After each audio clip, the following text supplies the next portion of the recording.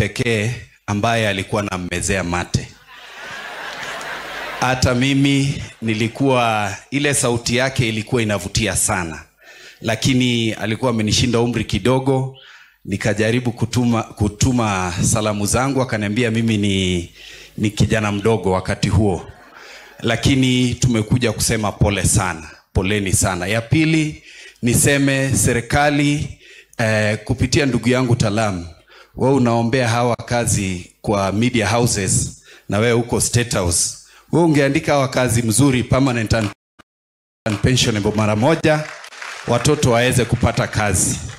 Na ingine niwaambie kwamba mimi nilikuwa mshauri wa president, nilikuwa advisor wa president wakati tulikuwa kwa campaign, na tuliwaambia wakati huo tutatoa watu bottom, tuwalete wapi bottom. Nyi mnaona hiyo maneno inaenda namna hiyo kweli? Na ndio tunaambia hawa ambao wametoka State House, tafadhali ambia rais na serikali yake wapunguze uongo, wapunguze kiburi na wapunguze ukabila katika serikali, sababu walimu hivi majuzi wameongezwa eh, mamlaka.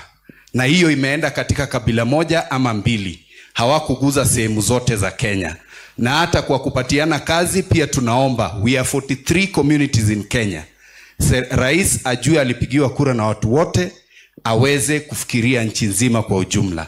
Asanteni sana na Mwenyezi Mungu awabariki, na Rita tunamwombea alazwe mahala pema peponi.